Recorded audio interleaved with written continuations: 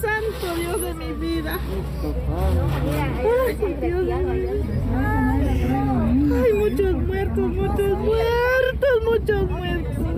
La reazione più spontanea è questa, quella di una donna che passando a bordo di un mezzo pubblico si rende conto dell'entità della catastrofe che ha coinvolto ancora una volta un gruppo di migranti diretto al confine con il Messico. Sono almeno 53 le vittime dell'incidente che ha visto protagonisti due camion. I migranti si trovavano a bordo del rimorchio di uno dei mezzi che si è capovolto nello scontro, secondo quanto ha reso noto l'ufficio del procuratore. Vi sarebbero anche più di 70 persone ferite. Dalle ricostruzioni a provocare l'incidente è stato uno dei due camion che ha preso una curva a una velocità troppo sostenuta. Le prime immagini che arrivano sono queste, girate da un uomo con il cellulare. Si vedono feriti e vittime su teloni colorati appoggiati sulla strada. Non si sa nemmeno quanti fossero in tutto i passeggeri nascosti nei rimorchi, almeno 150 partiti dal Guatemala, ammassati l'uno all'altro nel tentativo di raggiungere il confine con gli Stati Uniti d'America. L'incidente è uno dei più pesanti nella storia recente delle migrazioni centroamericana in Messico. Su quanto accaduto,